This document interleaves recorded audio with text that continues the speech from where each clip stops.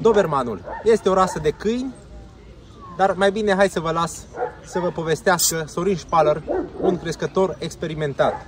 Crește Doberman de 20 de ani. Sunt Sorin Spaller, crescătorul canistei Relaps, o vechime de 20 de ani. Primul câine de show l-am avut în anul 2003. Primul contact cu rasa l-am avut înainte de anii 90, în 1986. Momentan am 5 femele în canisă, sunt adeptul uh, calității în detrimentul cantității. Prefer une două cuiburi pe an de calitate mare în uh, detrimentul cantității, adică prefer un număr mic de cuiburi decât un număr mare și calitate îndoielnică. Ce ne poți spune despre rasa Doberman? Doberman a fost creat la finele anilor 1800, începutul anilor 1900.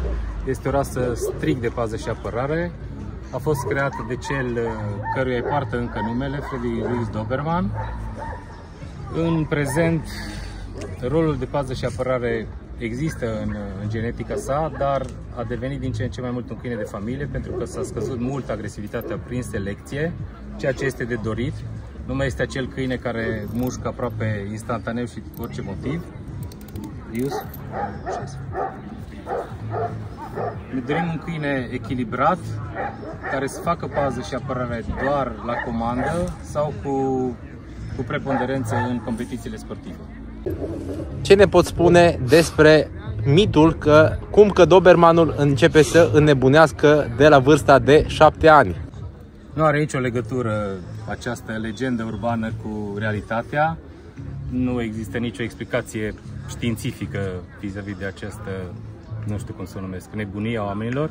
Într-adevăr, în urmă cu câțiva zeci de ani, Doberman era extrem de agresiv și putea să-și atace stăpânul în momentul în care nu era educat cum trebuie, dar uh, nu, nu are nicio legătură cu realitatea. Am acasă. câini uh, acasă de 10 ani, 12 ani care n-au nicio, nicio legătură cu agresivitatea, sunt foarte atașați de familie. Dobermanul este o rasă de câini care nu face față cu bine sau cu brio uh, temperaturilor din România și aici mă refer la temperaturile de iarnă.